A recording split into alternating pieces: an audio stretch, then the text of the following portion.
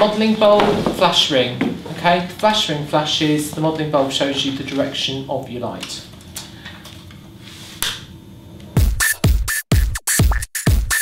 The, these buttons you need, the up and down buttons, okay, that just controls the power of the flash. Mm-hmm. Five is the lowest power, and it goes up to Right. 10. Okay?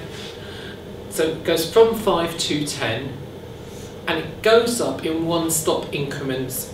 I'll explain that in a sec. So that's your power. You don't need any of the rest of these buttons.